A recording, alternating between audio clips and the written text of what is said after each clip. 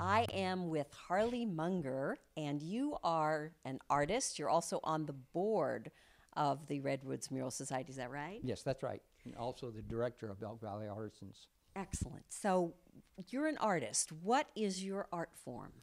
Um, kids.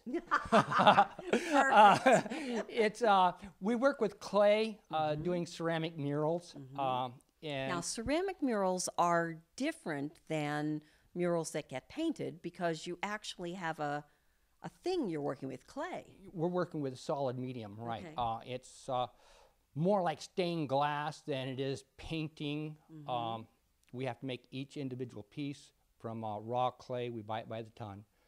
By Make- the ton? We buy it by the ton. um, and uh, we make our own glazes, do our own testing, you know, all of this.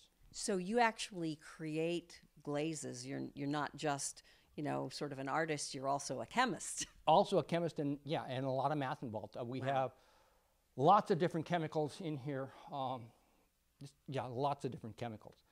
So the murals that you've got around town, what what are some of them? Um, we have um, a number of them down the um, swimming pool.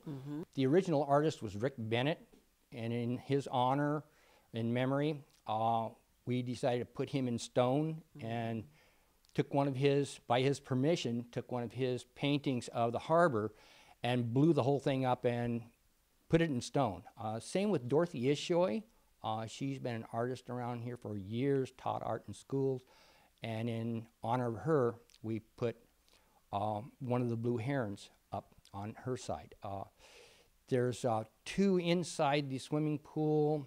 Uh, one of the um, by dolphins. Uh, the dolphins was the second one we've done in it was the year 2000, I think, and it was done by kids who owed community service hours.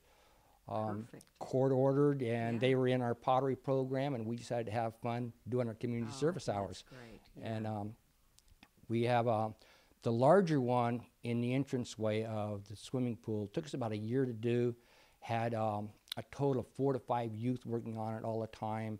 That's You know, an af- enormous amount of time. A year? it is. Yeah, it takes there, each piece of clay needs to be dealt with 17 different times in process. Uh, and sometimes the process requires days and days, like drying, um, and then transferring it over to kilns and stuff like this. Uh, So tell me about the process. What what do you start with? Uh, we start with with raw clay out of the bag, um, and we roll it out. Uh, all our all our slabs are half inch thick, so we stay consistent.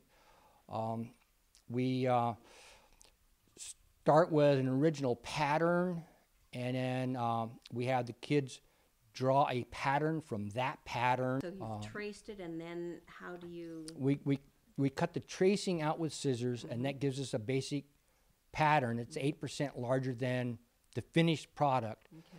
We put that on clay. We have a little needle tool that I designed. We follow that around and cut cut the piece out. Right. It's finished off with a little um, sponge brush, so there's no sharp edges on it. We put it into our dry box. Dry box is there for about three days at a minimum. Then we put it in a bisque kiln. It's fired. It takes about two days for that process. By the time it gets hot, it gets cool again. We take the pieces from there. We put them back onto the original.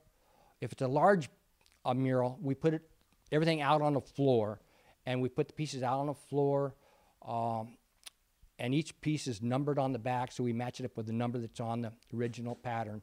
When all the pieces are made and bisque fired, then we go through and select the pieces that require the same color of glaze, and we glaze all of them at the same time because glazes will change over time. What I glaze today may not be the same in six weeks. Even if the chemistry, the, well- the equation's the same, but the colors right, change. the color, yeah. I mean, just sitting in the bucket will Yeah. change the chemistry of it. Wow. Um, so we try to do them all at the same time. Uh, when you reorder chemicals, they're not the same, Right. even though they say they are. Right. Um, So and- you've got them glazed. got them glazed, and and then then, they we fire them again. Fire Fire 'em mhm. again. It'll take um, at least two days going through the firing process. We run them up to cone five, which is about 2,140 degrees. Wow. Um, so it takes a while to cool off, Right. which makes it nice and warm up here. Yes, I can imagine. and then you put them together. And then, and then we put them back on the original pattern, Mm-hmm. and then we do what, a process what we call compressing, Mm-hmm. and that's because the finished product will end up being eight percent smaller than the original pattern. Mm-hmm.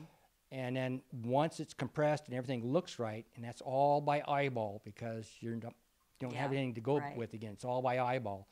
An example of this are the ones on Third Street, right? All of those beautiful. All, right. Yeah. Third Street murals are, um, the processes remains the same, Mm-hmm. um, and it's just a longer process because it's a huge pro, huge, huge project. and you obviously have to get sponsors. Right. We get sponsors Right. from our locals, and we've been writing grants to to help you know au- augment it. Now, the difference between those kind of murals and, say, the murals that we see in the schools, Mm-hmm. those are six by six Six by six tiles. Right, and that's a Right. completely different. totally different process. I mean, we buy the tiles already made; they're bisque-fired. I take them to the schools.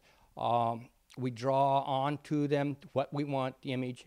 I've designed some glazes that the kids can literally paint right onto the tile. I bring them back here and fire them, take them back there, and the kids help us stick them on the wall with thin set and grout. That's I mean, it's- excellent. It's neat. Yeah, yeah. and- It, and it and you obviously have a wonderful time doing what you're doing. I do, I do, Yeah, especially yeah. when you see a second grader there doing it with a, Yes. you know, left-handed, and, Absolutely, and just it's neat. absolutely. It's real neat. Harley, thank you again. This has not only been educational, but it's been really fun. Is there anything that you need?